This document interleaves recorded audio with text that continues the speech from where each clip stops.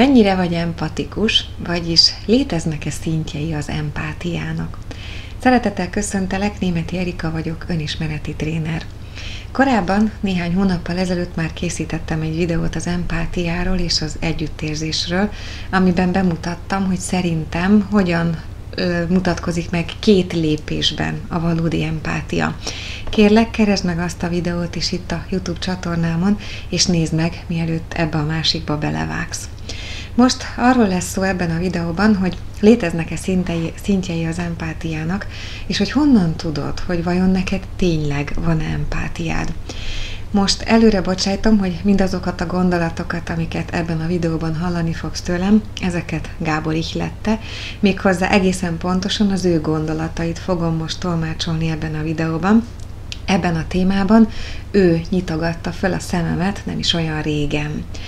Szóval az empátiának az az alapvető definíciója, hogy ez egy beleérző, egy együttérző készséget jelent, aminek során ott van benned az a képesség, hogy képes vagy egy másik embert meglátni a maga valóságában, átérezni azt a helyzetet, azokat az érzelmeket, amelyekben ő benne van, meglátni és megérteni azokat a gondolatokat, amelyeket ő futtat, látni a helyzetet az ő szemével, az ő képességein keresztül, illetve megérteni és látni az ő helyzetét azokon az információkon keresztül, amelyek az ő számára rendelkezésre állnak.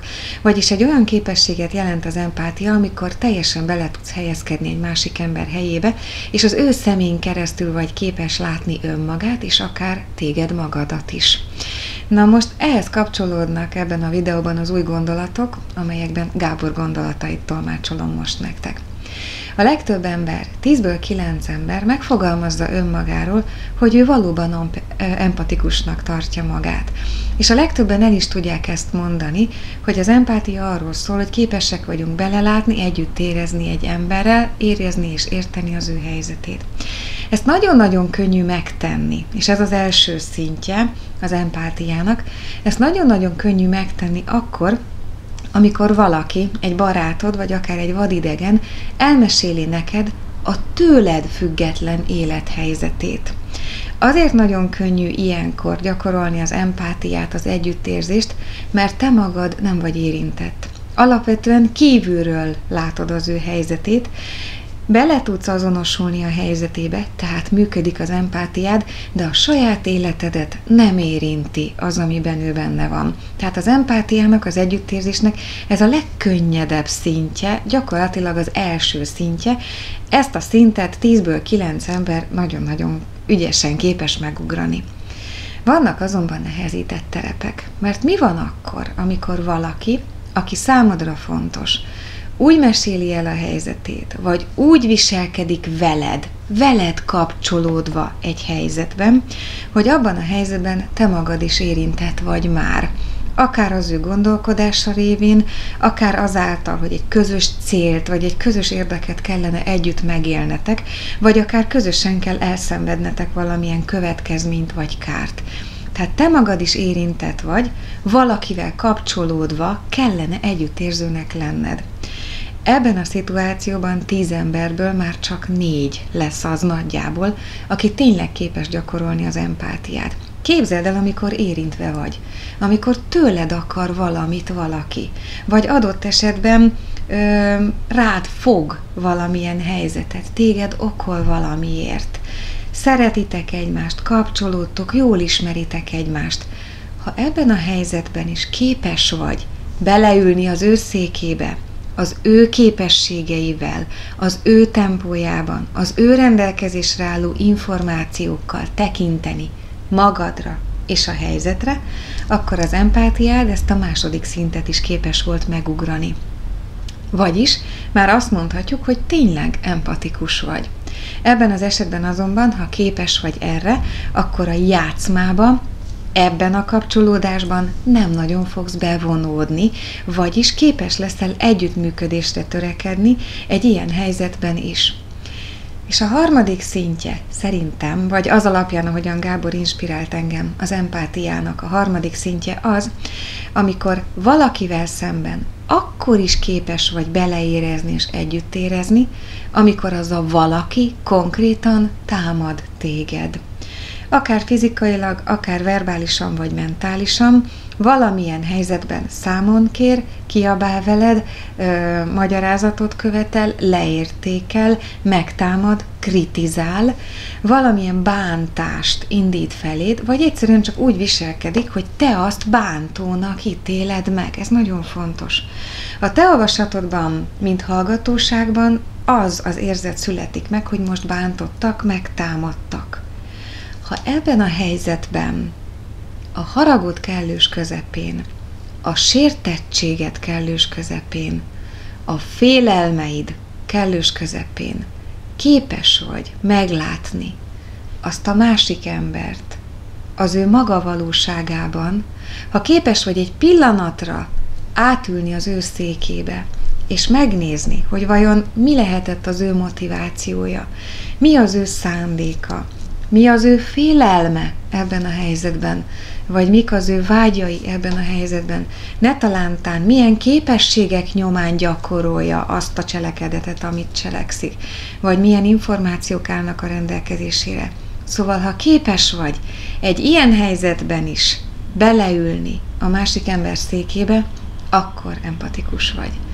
És ebben a helyzetben valóban empatikus vagy, a következő fog történni nem az történik, amitől félsz. Mert a legtöbb elme, a legtöbb ember ilyenkor azt fogalmazná meg, hogy persze, ha együttérző leszek azzal, aki bánt engem, akkor azzal kiszolgáltatom magam.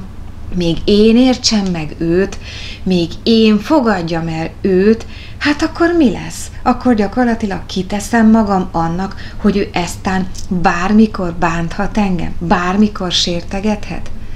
Ezt mondja a félelemmel teli egód. És valahányszor ezt mondja, gyakorlatilag éppen kizárt téged abból, hogy gyakorolni tud a valódi empátiát. Ugyanis nem ez fog történni. Ha valóban empatikus vagy, és egy ilyen helyzetben, amikor valaki támad, te azt kezded el keresni, hogy vajon a másik félben mi futhat, mit értheted félre, a te működésedben. Mire reagál úgy, hogy ő most támadjon? Miért reagál úgy? Mi motiválja? Milyen félelmei? Milyen információk állnak a rendelkezésére? Milyen képességei, milyen belátási készsége lehet?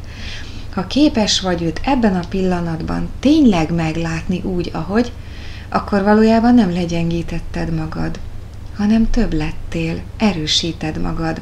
Matematikailag is könnyű ezt belátni, hiszen megvan a saját nézőpontod, amiből te eredetileg figyelted az eseményt. És azzal, hogy átérzed a másikat, hogy beültél az ő helyébe, magadévá teszed az ő nézőpontját is.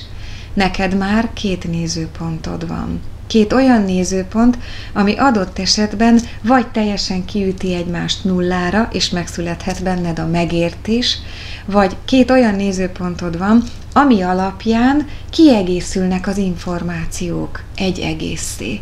És hogyha kiegészültek az információk egy egészé, akkor te az egésznek a birtokában vagy, míg a másik fél még mindig csak a sajátja birtokában.